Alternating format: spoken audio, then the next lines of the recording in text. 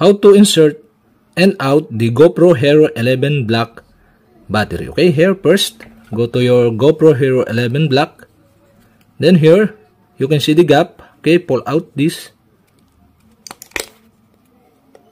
Okay, once it open, so you can see here inside the pin, okay? You can see pin inside and find the pin of your battery. So make sure the battery is inserted like this.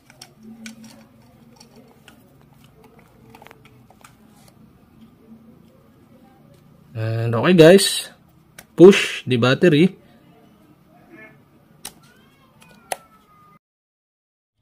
And close the battery door. Okay? Pull out again the gap.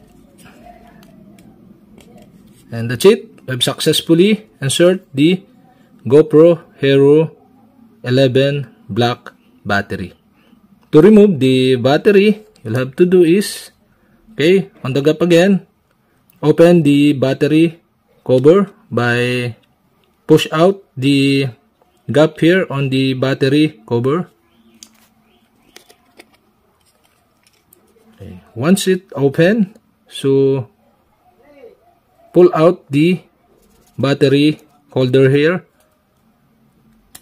to remove the battery of your GoPro Hero 11 Black. So that's it. Okay, thank you for watching.